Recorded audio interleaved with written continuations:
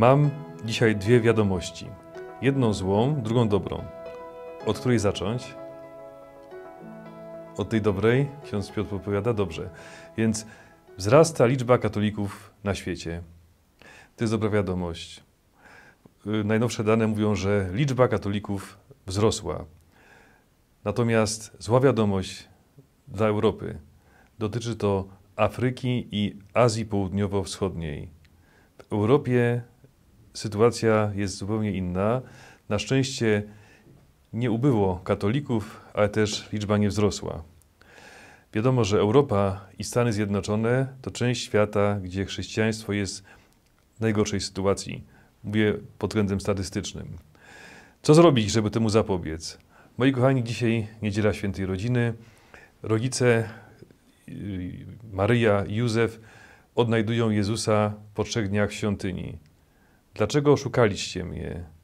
Nie wiedzieliście, że powinienem być w sprawach mojego ojca? Żeby dziecko było w sprawach ojca, w sprawach Bożych. Moi kochani, nie mamy możliwości zmienić sytuacji globalnie na świecie. Nie odwrócimy Wisły kijem, ale możemy zrobić jedno: przekazać wiarę tym, którzy są w pobliżu, dzieciom, wnukom. Byłem w Świdnicy y, w kościele ewangelickim, piękny, zabytkowy kościół z serii tych kościołów pokoju. Y, y, drewniana, przepiękna świątynia, warto tam być, warto ją zwiedzić. I przewodnik powiedział taką ciekawą rzecz.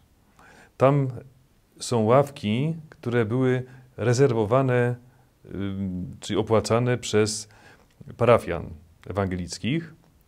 I te ławki były tak cenne, że rodzice przekazywali miejsce w tej ławce w spadku swoim dzieciom. Pytanie, czy w naszych parafiach moglibyśmy dzisiaj przekazać w spadku dzieciom i wnukom miejsce w ławce, będąc pewnymi, że to miejsce będzie przez nich zajęte. Dlaczego to jest tak ważne, żeby przekazać wiarę?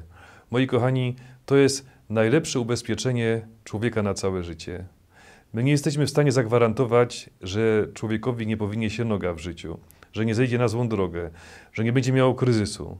Mało tego, jest to bardziej niż pewne, że kiedyś taki kryzys przyjdzie w życiu każdego człowieka. Ale możemy zrobić jedno: tak go zabezpieczyć, żeby było w dobrych rękach. Ojciec syna marnotrawnego był najlepszym ojcem. Nie udało się ustrzec syna przed zmarnowaniem połowy majątku i przed wylądowaniem w korycie świńskim. Ale zwycięstwem ojca było to, że kiedy syn osiągnął dno, powstała myśl, a może wrócę do mojego ojca. Mam tam miejsce powrotu. Ojciec czeka. Ten ojciec przez całe lata tak wychował syna, żeby syn miał do czego wracać. Żeby dziecko, jako dorosły człowiek, jako starszy człowiek, czy potem już starzec, miało do czego wracać. Jest taki kapitalny pamiętnik księdza i poety Jana Twardowskiego pod tytułem Niecodziennik. I tam ksiądz Twardowski opisuje taką historię z czasów, kiedy był duszpasterzem w kościele Wszystkich Świętych w Warszawie. Pisze, że pewnego razu pod chórem w kościele straszny tumult, hulk, gwałt, coś się dzieje. Wychodzi, patrzy kobieta z ulicy, wiadomo jaki zawód wykonywała, weszła do kościoła, Panie oburzone, ludzie wyszli z ławek, chcą ją wyrzucić z kościoła. Ksiądz Twardowski mówi, obroniłem ją. Podszedłem i pytam, co się stało. Kobieta płakała. Wziąłem ją do zakrystii. Co się stało? Dlaczego weszłaś do kościoła? Ludzie krzyczą, to ulicznica, pijaczka, trzeba ją wyrzuci wyrzucić. Co się stało? Proszę księdza, stałam na ulicy. Obsypał mnie śnieg. Przypomniała mi się moja sukienka z pierwszej Komunii Świętej i chciałam się wyspowiadać. Wspomnienie pierwszej Komunii Świętej, białej sukienki, niby tak nieważny szczegół, nie liczący się dodatek do pierwszej komunii, ale ten mały szczegół, ta biel, doświadczenie czystości serca, przyjęcia Jezusa do serca przed wielu, wielu laty, doprowadziło tą kobietę do zmiany życia. I to się powtarza, ta prawidłowość się powtarza od czasów syna marnotrawnego aż do naszych czasów. Jeśli chcemy dziecko zabezpieczyć, to dajmy mu doświadczenie wiary, będzie miało do czego wracać. Dwunastoletni Jezus mówi swoim rodzicom: Muszę być w sprawach mojego Ojca. Żeby dziecko miało doświadczenie bycia w sprawach Ojca. Bulwersuje mnie taka reklama w telewizji. Y, ktoś chce oglądnąć film na spokojnie, gdzieś po wiadomościach, a tu reklama starsza pani, starszy pan, eleganccy ludzie w takich stonowanych, eleganckich strojach, w kostiumie, w garniturze. Y, chcemy przekazać to, co najlepsze naszym dzieciom, żeby nie zostawiać po naszej śmierci im kłopotu z nami, co z nami zrobić. Skorzystajcie z okazji ubezpieczenia, y, opłaty ubezpieczenia złotówka miesięcznie na pogrzeb. Y, tutaj nie trzeba nawet zaświadczenia o stanie zdrowia, nie trzeba mieć jakichś dodatkowych dokumentów. Wystarczy opłacać, w każdym wieku można rozpocząć. Myślę sobie, mój Boże, do czego to doszło? Czy to jest największy problem, co będzie z moim pogrzebem? Moi kochani, największym staraniem, według mnie, a mówię to nie tylko jako ksiądz, ale jako ktoś, komu rzeczywiście zależy na przyszłości, największym problemem i zadaniem dla nas jest przekazać dzieciom wiarę, sens życia, żeby to dziecko miało fundament, na którym może budować swoje życie. Jak to zrobić?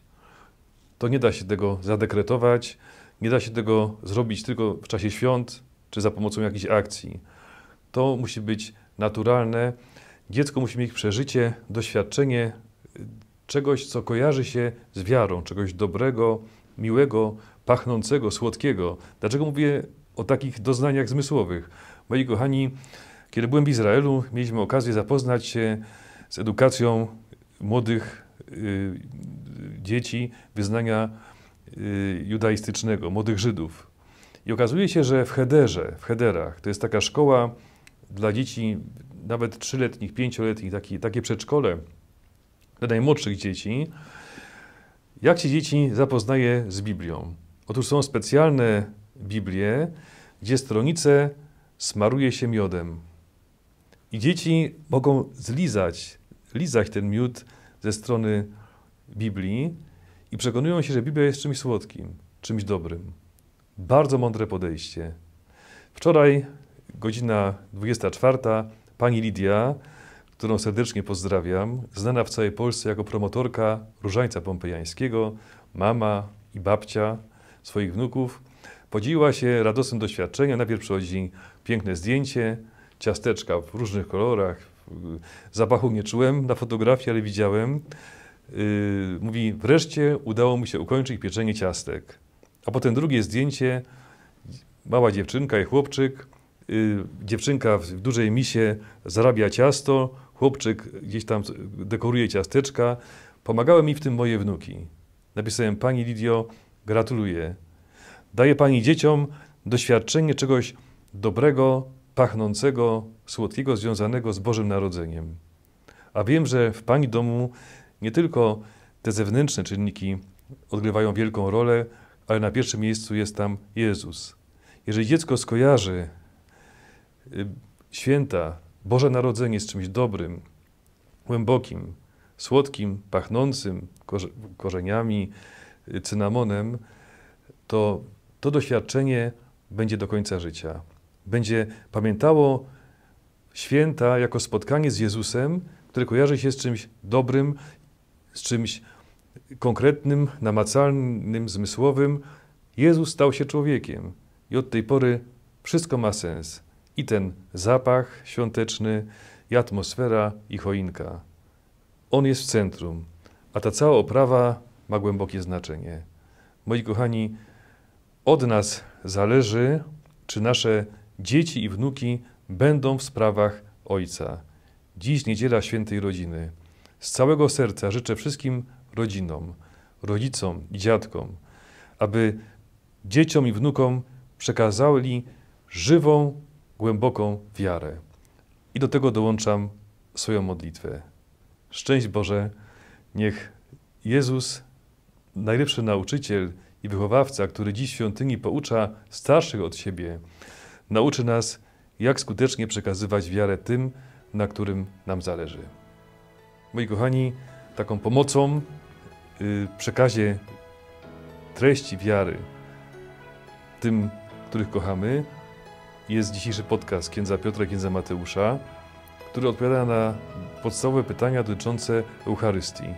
Na przykład, dlaczego akurat chleb i wino? Jak to jest, że w tych prostych znakach jest obecny Jezus Chrystus, Bóg i człowiek? Posłuchajmy ich rozmowy.